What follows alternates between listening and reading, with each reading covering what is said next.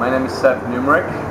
I play the character Joe Bonaparte. I just wanted to show you a little bit of my ritual, what I do before the show. I like to get here about two hours before curtain time. I play a boxer, so I like to do some of the stuff that Joe would do every day. So what I start with is a great ritual, which is wrapping your hands.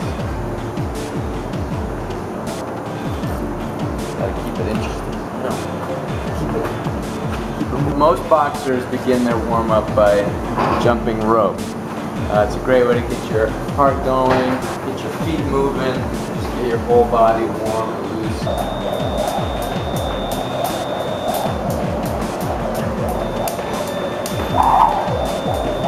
You want to learn as much as you possibly can about the character, about the play, uh, so that then when you step on stage, you don't have to think about any of it. From the little bit I know now about boxing, that it's the same thing.